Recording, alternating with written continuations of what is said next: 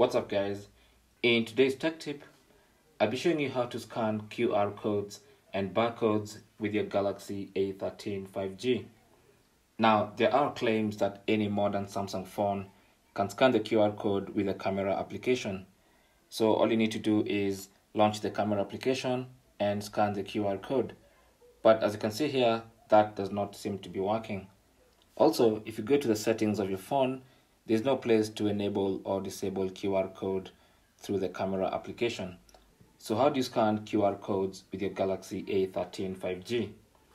Now, there's one quick solution, and that solution is going to the Play Store and installing a QR code scanner. Now, if you type QR code scanner, there are plenty of QR scanning applications on the Play Store, and you can easily pick one and it's going to work. Now, one good application is this one by Gamma Play because it's a combination of a QR code scanner and a barcode scanner. So let's try and install that first. Now, the only problem I find with this is that it's an ad supported application, and so you might have to encounter ads here and there.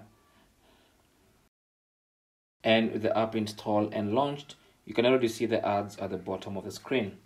Anyway, let's try and see how this works. So here's our QR code. And let's just try and scan this one. And as you can see, it quickly detects the QR code and takes me to the page where it's supposed to take me. This is a QR code to take you to my website and you can see the app does exactly that.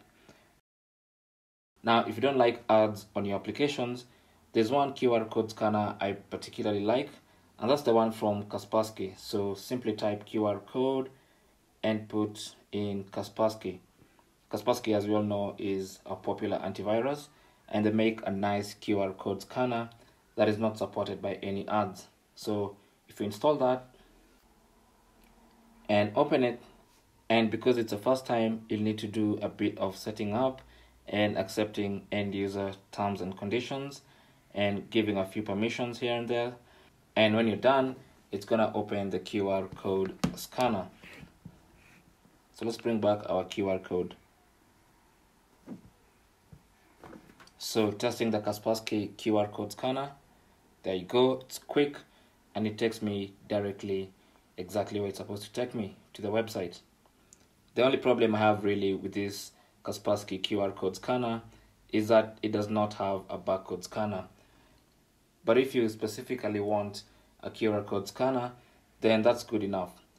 And that's basically how you can scan QR codes with your Galaxy A13 with third-party apps from the Play Store. Thanks for watching.